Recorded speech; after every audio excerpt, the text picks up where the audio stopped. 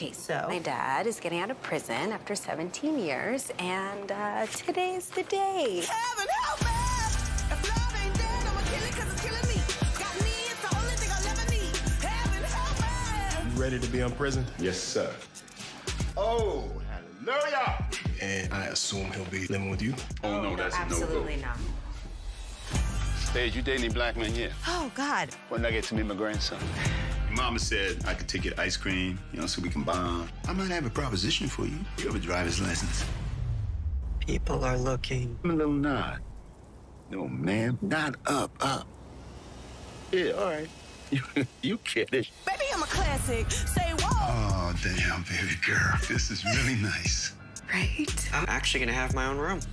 You can stay with us for as long as you need, but the same rules still apply, oh, no, right? don't get in your business. And don't put the knife back in the jelly after I done licked it. Are you doing that? No, that was a joke. Baby. No. Do you want your own shelf Grandpa. in the... Cheers. Yeah, cheers.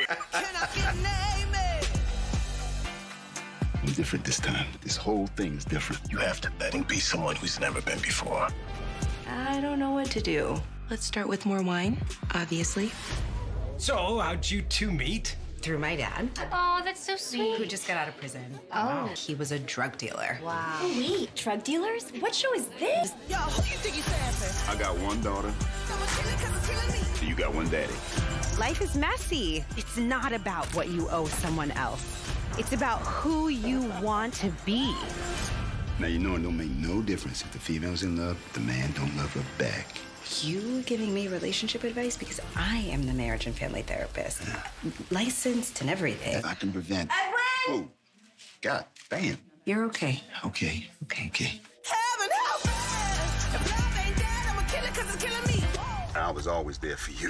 Yeah, if by always you mean this call is from a federal prison, you will not be charged for this call. Yeah, you nailed it. You are lucky I didn't press seven.